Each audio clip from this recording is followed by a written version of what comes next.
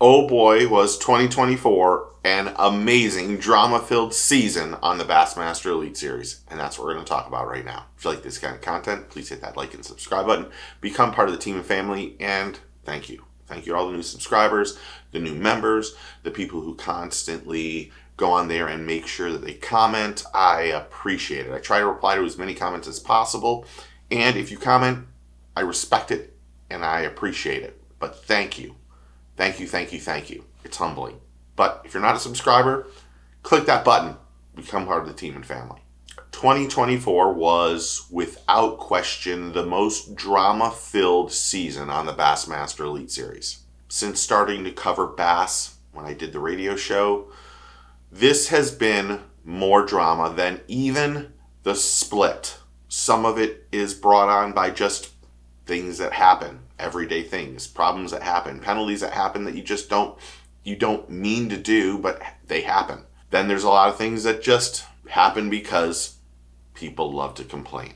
And complain happened more than I've ever seen or heard this season. And I'm not sure that controversy took more precedent than the anglers winning. We saw lots of penalties. We saw a bunch of whining people. We saw a lot of anglers upset. We saw a lot of fans upset. And we saw, we did see some absolutely great fishing. But they went to a lot of places that they consistently go to over and over and over. It's like beating a dead horse. They need to find some new spots for 2025. We had issues with forward facing sonar. We had what I believe is the best rookie class of anglers come in. Are they forward facing uh, forward facing sonar anglers? Yes. But so is everybody. If you're not using forward facing sonar, you're not competing your favorite angler that's down on the bottom. If he's on the bottom and not using forward facing sonar, that's where he's going to stay unless they make some changes. First tournament was won on Toledo Bend by Kyoya Fujita. Amazing tournament. Good place to go to. Overall, I thought this was a great a great place. The second tournament was on Lake Fork with Trey McKinney, the rookie, winning it. We saw nine bags over a hundred pounds it was an absolute massive slugfest. It was one of the best tournaments of the year. It was physically insane. Justin Hamner won the Classic, which was fantastic. Classic, I felt like was, even though they say was the biggest classic ever viewed, I'm not sure about that. I didn't feel like the Classic, it didn't feel like the Classic. And that might be because of me, because of being in this, doing this for so long that uh, it doesn't have as much hype to me as it should have. But Justin Hamner winning was absolutely it. It was fantastic. And Justin make is making a great name for himself. Justin is one of those anglers you need to keep your eye on. He's going to win Angler of the Year. He's going to win tournaments. He is phenomenal. He is really a great ambassador as a classic winner, and he seems just to have his head on, on right. This was where we started to see some penalties. We started to see them we had some issues when when you have Trey win.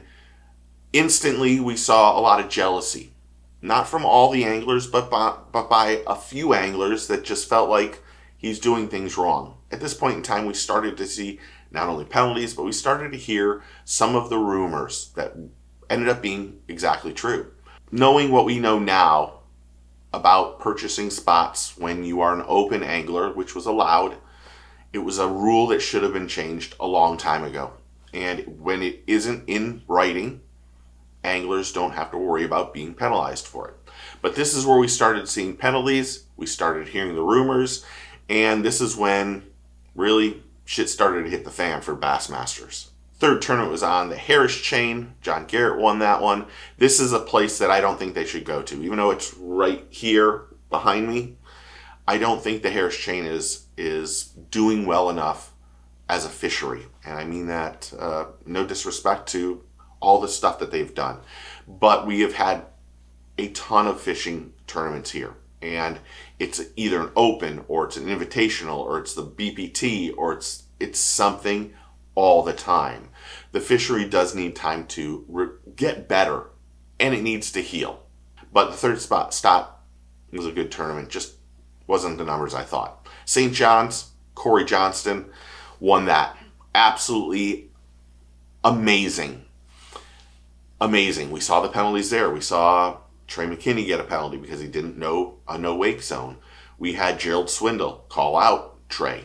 We found out that while Gerald said he was the one that was the person who put out that protest, we found out that that story had more to it, I think. And I think Trey ended up self reporting himself. And the rumors, accusations really ramped up at this point in time. We had people talking nonstop. We had family members talking. We had a whole bunch of people that were upset, and rightfully so, because they were hearing it from their family or their anglers, the anglers and the angler, other anglers, that there was something going on. There was something a little fishy in a bass fishing tournament. Surprise, surprise, surprise. But when the St. John's River was done, Cory Johnston won thanks to his brother, Chris. And it, it was it was probably a master class on how to sight fish the St. John's River. But another place that they go to way too often. Palatka is it really is a really good fishery. But they are at that place too often and it needs to end. They need to pick better places. But we started, like I said, we started hearing lots and lots of rumors, lots of accusations, lots of throwing shit at the wall and seeing what sticks. We heard from everyone about it, and there were a lot of truths. Lake Murray, the fifth event, Patrick Water, Walters took down. My opinion, Patrick is one of the best anglers on, on the earth. Um, he is fantastic. A good tournament. I this was another tournament, just like all the first five, where if you weren't a scoper, you were probably not doing well. Forward facing sonar has been huge this year in all fishing tournaments. And as we saw the first five roll through, it was all about forward facing sonar. Wheeler Lake was next, and Cliff Prince took that one down. Probably a little bit more emotional, probably one that I think everybody wanted to see. I think everyone pulls for Cliff. He's a good person. He's a great angler, and it was time for him to win. And he was at the bottom, probably pushing, trying to push to get as many points as possible. But we we figured out uh, that Wheeler Lake should be called Cliff Prince's place. It was a good tournament, great tournament, really, to be honest, and uh, couldn't be happier for for Cliff. Smith Lake was neck. Taku Ito won. This is where we saw or heard of lots of dead fish. The fish mortality in this tournament was probably the worst Bass has had. We heard constant complaints about pulling fish up from deeper because they were using forward facing sonar and then getting them up in that warmer water and the fish then having to travel a long way. We had, I think this is where we had the Ben Milliken incident with his three dead fish that he weighed in, but also the one that was looked dead but wasn't. We do know that for a fact now. He did admit that it was it was barely living, but it was alive when he released it with the the weight clips. But this was another tournament where forward facing sonar was completely dominant and but Taku is just a fantastic angler. Again, rumor mill is just circling. It's at this point in time, it's not a, a, a whirlwind; it's a tornado. This is when everything, everything is all about why is this happening? Why are the rookies doing so well? That's the big one of the biggest stories of this year. The rookies were exceptional this year. But we'll get back to that. Next was Lake Champlain. Ed Loughran won amazing tournament. This was this was probably my second or third favorite tournament of all the tournaments of the year. I really, really enjoyed this. But I do enjoy smallmouth fishing. Again, forward facing sonar played a big part, but there were some bad largemouth fisher people fishing and Ed was, and he was amazing. He was it was he won by one ounce, and it was an amazing tournament. It had a lot of drama inside the tournament because the weights were so close, and that's what made it so much fun.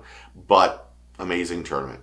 And then last but not least, we had Cory Johnston win on the St. Lawrence River, and that was where the pimple came to the head and popped. We had so many storylines because of the St. Lawrence River. It was ridiculous. We had the Johnston in, in, in G with the smelling salts and the name calling. And I understand that there you can call people and chirp at people, but it seemed a little off. We had then JT getting disqualified. We had Scott Martin get disqualified earlier in the year on the Harris chain for fishing in an area he wasn't allowed to. We had JT then again get disqualified on this one for failing a polygraph. We had an angler of the year and a rookie of the, of the year that were fighting. Trey had an opportunity to win both angler of the year and rookie of the year, but of course, Johnson Brothers won that. They won the tournament, they won the angler of the year, and they had, quite honestly, they're the most dominating duo there is. This is also the trend that we heard that Zona was leaving, which was crazy. We also heard that Rick Clunn was not retiring, but he was calling it quits on the elites. We had all sorts of storylines. We had storylines after it. We had Mike Iaconelli just go batshit crazy over a comment. I think that when the year is over, there were so many storylines that just were ridiculous. My story, the storylines I'm going to remember the most this year is the nine rookies that are making the classic. The rookie class was the best class I've ever seen ever since covering bass fishing. I think the other things I'm going to remember is now I'm going to remember the Chris Zaldain yelling at a, a fan, yelling and screaming and pulling a Seinfeld episode, which I still think is wrong and I still think he should apologize. But here at the end, I'm going to remember the Mike Iaconelli incident here at the end, where I think not only did he do an injustice by swearing and cursing on his live show, which he's allowed to, but I just felt like it was overwhelming. And I think this has been the most drama filled season we've ever seen on the Elite Series. And I don't think it's going to end. I think there's lots of changes that need to happen. But overall, if I had to give a rating, just like Dave Portnoy, I think I'd give this year on the Elites a 7.6. I think there was more drama and more coverage of the drama than the fishing. And I think Bass needs to look at themselves and put their foot down with some of the stuff that's happening and some of the things that are being said. I know the anglers can't talk and it allows their their friends and other people to talk, but I don't think that's the right thing to do either. Having said that, I do think that there should be more transparency in a lot of stuff that goes on. And I think there's more storylines to the JT McKinney and of course Iaconelli and all those other anglers. But I don't know. What do you think of this year's what do you think of the Bassmaster Elite Series this year? What is your rating, 1 to 10? Comment below and tell me what you think. Remember, take a kid fishing. Thank you. Get your fish on. I'll talk to you very, very soon. Cheers and thank you.